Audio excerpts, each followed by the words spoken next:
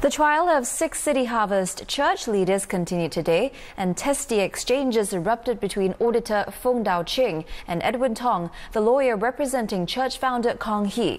During cross examination today, Mr. Tong said that Mr. Foong was keen to distance himself from the advice that he gave to the church leaders concerning matters like bond transactions and church audit reports.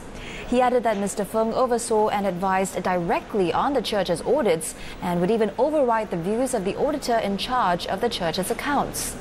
Mr. Tong suggested that some evidence that Mr. Foong had given during the trial was untruthful. Six leaders of the church, including founder Kong Hee, have been accused of misusing church funds to boost the career of singer Sun Ho. The trial continues.